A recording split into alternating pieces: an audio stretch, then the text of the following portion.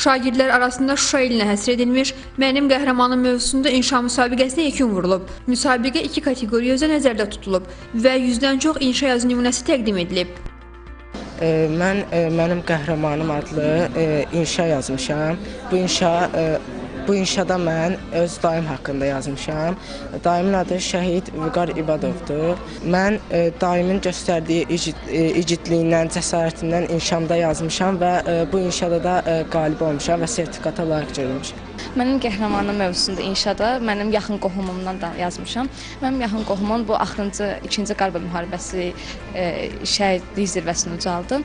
Onun o göstərdiyi igid, igidlikdən, şü- şücaətdən yazmışam. Bu inşada mən e, milli qəhrəmanımız olan Cəfərli Həmid Kərimoğlu'ndan yazmışam və mən ilk dəfədir e, burada qalib oluram e, və bu gün də sertifikat götürməyə gəlmişəm. Müsabiqənin keçirilmə məqsədi şanlı zəfərimizin qəhrəmanları olan qazi və şəhidlərimizi onların övladlarının dilindən, qələmindən çıxan hekayələr vasitəsilə tanıtmaqdır. və onların dili ilə şəhidlərimiz haqqında hər hansı bir inşa yazını e, belə deyək, e, bilmək, izləmək, ona e, bir nəzər yetirmək biraz da fərqli hissləri yaşadır.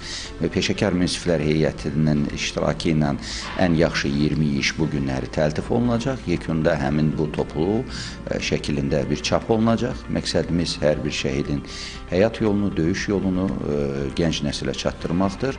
İnşalar 1-10 ballıq qiymətləndirmə sistemi ilə dəyərləndirilib. Nəticədə hər iki kateqoriya üzrə 1, 2-ci və 3-cü yerin qalibləri və 7 fərqlənmiş iştirakçı müəyyən olunub. Qaliblər diplom və fəxri fərmanlarla təltif olunublar.